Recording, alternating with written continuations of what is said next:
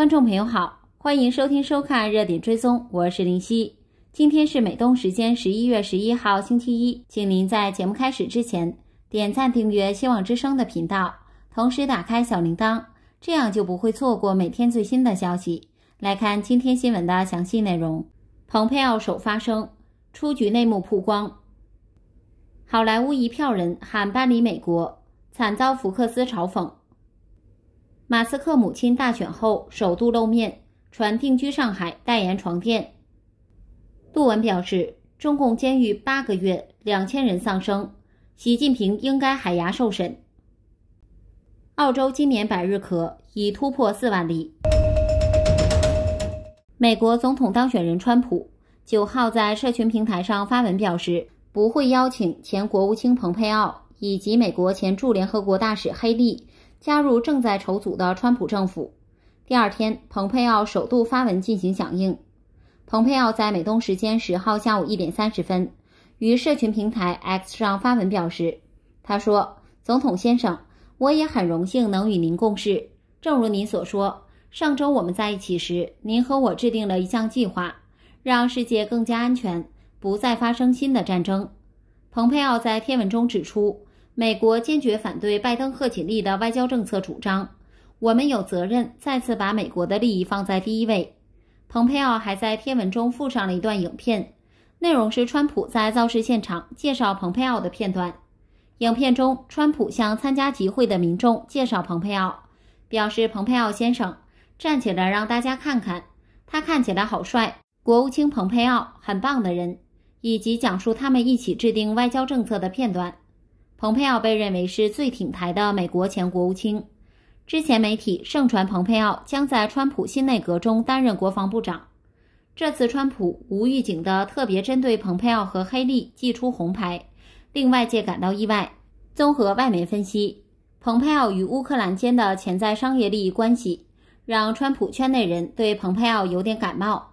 加上蓬佩奥太晚表态、不够忠诚等等，都是可能落选的原因。《华尔街日报》七月中旬一篇专栏详述了川普对乌克兰的和平计划，其中包含为乌克兰设立一项五千亿美元的租借计划，让乌克兰借取需要的资金，用于购买美国武器击败俄罗斯。这项建议来自乌克兰大型电信公司基辅之星一名董事会成员和泽连斯基的顾问。美国智库昆西国家事务研究所指出，这项租借计划。其实是为美国和乌克兰公司做游说工作，而基辅之星的这名董事会成员正是蓬佩奥。外媒报道，川普圈内人士，包含金主萨克斯，认为蓬佩奥过于急切动用海外军事力量。蓬佩奥与活跃于外交界，高度支持乌克兰、北约和亚太盟友，但川普团队的小川普与万斯有意减少美国的对外承诺，也与蓬佩奥意见相左。而川普可能也没有忘记，蓬佩奥2023年在保守派政治行动会议上曾警告共和党人不要追随拥有自身政治品牌的明星领袖。他说：“那些人自尊心脆弱，拒绝面对现实。”几天后，蓬佩奥接受福克斯新闻采访时说：“那些人指的并不是川普。”不过，同时他也批评了川普的财政政策。除此之外，蓬佩奥2022年曾批评川普。将机密文件从白宫运到海湖庄园，又一度考虑与川普在党内初选竞争，甚至到了选前才表态支持川普。接近川普的有人说，川普在内阁人事上的首要考虑是忠诚，而蓬佩奥的种种行为可能都犯了川普忌讳。对于蓬佩奥及黑利的提早出局，华盛顿邮报形容这是显而易见且引人注目的冷落。政治新闻网站 Politico 则说，此事显示川普的第二任是多么重视忠诚。蓬佩奥及黑利选前都支持川普，但两人比其他前川普政府官员表态的时间晚。Politico 还引述匿名消息人士说法指出，蓬佩奥有意担任国防部长，且已在多方运作，但川普的儿子小唐纳、川普和福克斯新闻前主播卡尔森都强烈反对。九号。针对一篇小唐纳以及卡尔森阻挡蓬佩奥角逐国防部长的文章，Politico 向川普团队求证发言。一个半小时之后，川普就贴文明确表示排除蓬佩奥以及黑利入阁。川普在此次美国总统大选中大获全胜，再度入主白宫，这也让先前一面倒力挺贺锦丽的一干好莱坞明星怨声载道。在选前，有许多好莱坞明星喊话：若川普当选，将搬离美国。美国保守派福克斯新闻也在选后将这些明星一一盘点出来，还引述专家说法调侃称，这些艺人们只会说说而已。根据福克斯新闻报道，在2024年总统大选前的几个月里，许多名人曾自豪地表达了他们对川普若当选总统的看法，包括沙朗斯通、雪儿和芭芭拉史翠珊等人都曾撂下狠话，强调如果川普当选，就要离开美国。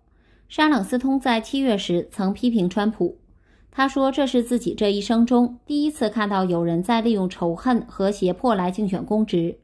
他说自己正考虑在加拿大买房子。雪儿在去年接受《卫报》访问时也表示，若川普回归，他将搬离美国。芭芭拉史翠珊则说，川普上任后，美国将让他无法再待下去，他会考虑搬到英国。福克斯逐一清算。包括喜剧明星艾米舒默、乔治罗佩兹等人都曾这样豪言：如果川普当选总统，他们将收拾行李搬家。艾米舒默当时更表示自己要学西班牙语了，因为他将搬到西班牙或其他地方。结果川普胜选后，他仅称自己的说法是开玩笑。位于华盛顿的阿基利斯公关公司创办人艾德里奇指出，名人在选举后逃离该国的说法并不新鲜。每四年就会听到名人重复使用这样的言论，这已经成为一个流传已久的笑话。他吐槽：“都是说说而已，没有真的走。”特斯拉执行长马斯克在今年的美国总统大选中力挺川普重返白宫成为焦点，而近日传出他七十六岁的母亲梅伊·马斯克已在上海定居，甚至还代言了卧具用品。综合媒体报道。十一月八号，有网友偶遇马斯克母亲梅伊在某家具店现身。当天，她身穿白色打底，外搭一件白色大衣，穿着白色的阔腿裤。梅伊是模特出身，形象很贵气。梅伊全程面带微笑，心情看起来不错。一位工作人员为她介绍自家产品，梅伊认真聆听，一度开怀大笑。据悉，梅伊代言的是中国卧具品牌。他分享个人经历。强调良好的睡眠才能保持活力。如果说一夜好梦，第二天你也精力充沛的工作。该寝具品牌首家线下旗舰店落地上海，梅伊是该品牌的全球代言人，也是首批用户。当天品牌方向梅伊交付产品。梅伊马斯克常年住在上海，他经常在自己的社交媒体上夸中国。今年六月二十二号的《华尔街日报》曾发表一篇文章。题为“马斯克在中国褒贬不一”，但他的母亲却备受推崇。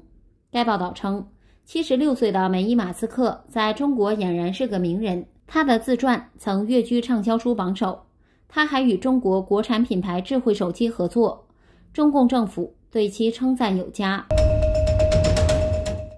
曾担任胡春华法律顾问，现在流亡欧洲的前内蒙政府法律顾问室执行主任杜文。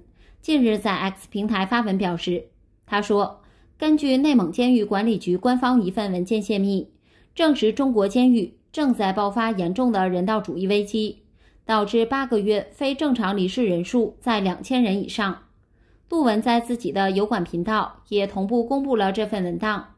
这份文档首页抬头是内蒙古自治区监狱管理局文件，文件编号是。内狱通二零二四一百二十三号文件标题是《关于印发全区监狱系统减少在押罪犯病亡率专项行动实施方案的通知》，落款处有内蒙古自治区监狱管理局的印章。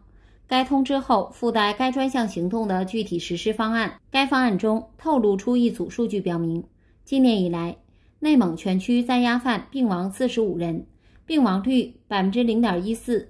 在全国监狱系统中属于较高水平。据大陆媒体网易报道，到今年九月底，全国共有监狱六百八十一所，在押犯人有一百九十四万人。杜文说，结合这个数据，文件中说病亡率较高水平是百分之零点一四。如果说按中位数百分之零点一二来算，那也超过两千人离世。杜文表示，这两千人大部分应属于能够保外就医而不保外就医的，能够抢救而不抢救的，以及由于被打、被拖延医治而导致其非正常离世。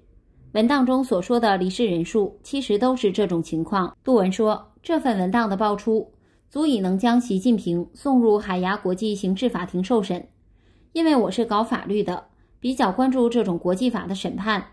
按照联合国海牙国际刑事法院的审判，《罗马规约》第七条和第八条，以及日内瓦公约、人权公约以及曼德拉条款，囚犯由于非人道对待而导致其离世的。国家元首是负首要责任的。网友晚清在跟帖中也列举了一段关于中共监狱的黑料。他发了一段逃往海外的法轮功学员严丽萍在美国国会众议院听证会上的作证视频。严丽萍作证说，二零零一年四月十九号那天，他和另外八名女性法轮功学员被马三家秘密转押到一个很特殊的地方，是专门用男人性迫害女法轮功学员的一所黑监狱。网友俊逸毛豆感慨说：“这是二百斤的愚昧和反文明的必然结果。”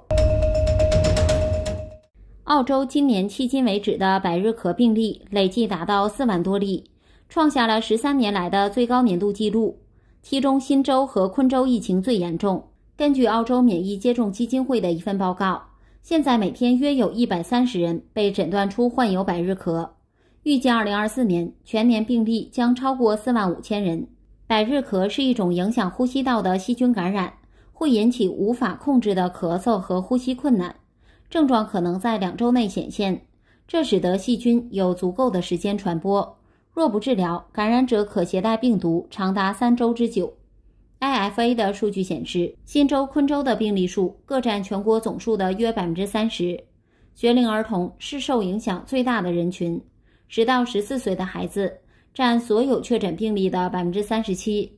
悉尼科技大学分子医学微生物实验室负责人劳伦斯向澳新社表示，百日咳疫情具有周期性，通常有规律性。然而，这次疫情超乎寻常的严重，这是自澳洲通报疾病报告启动以来的最大的一次疫情。这期的热点追踪就到这里了，欢迎您就今天的新闻话题在视频的下方留言，请别忘记帮助我们点赞、订阅还有分享。感谢您的支持与收看，我们下次节目再见。